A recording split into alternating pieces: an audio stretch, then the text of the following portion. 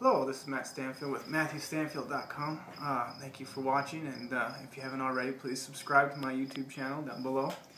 And uh, what I want to talk about tonight is that uh, just how wonderful fishing trips are uh, and getting time to, to spend with God. Um, I only got probably half hour or so, uh, really, because we had too much fun fishing, I guess. And I think it was it was very important just to just to get up, get away from everything, and no music, no media, no phone service, and just spend some time away with God and some good friends. We had a good time talking to each other and uh, just you know. I think getting close to God, getting close to friends is just so important. And I know we don't do it enough.